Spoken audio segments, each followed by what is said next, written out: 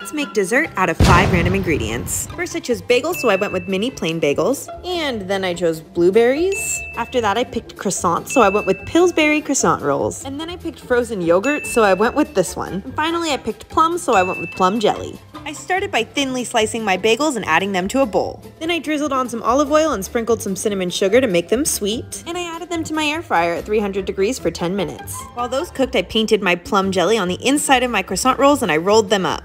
Next, I simmered some blueberries and water together to make blueberry syrup. While the croissants were cooling, I crushed up my bagel chips. Finally, I put a scoop of froyo on my croissant, I drizzled some blueberry syrup, and I sprinkled some bagel chips. I'm so excited to try this. Wow.